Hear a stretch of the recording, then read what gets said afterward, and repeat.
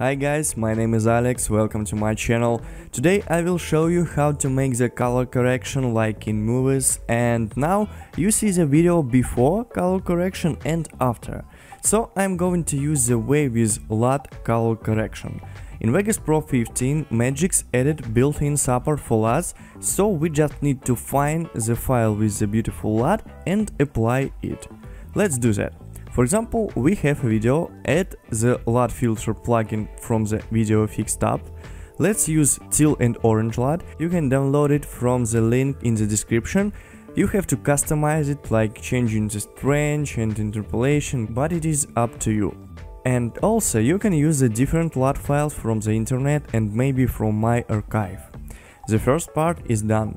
Now let's add these, you know, black bars at the top and bottom of the video. Just click on this icon, event pan crop, and you want to make sure that at the left those two icons are unchecked.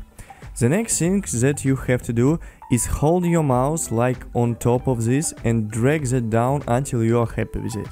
And there will appear the black bars on the preview window. As you can see it is appearing, so I think this looks good. So that is for the cinematic bars.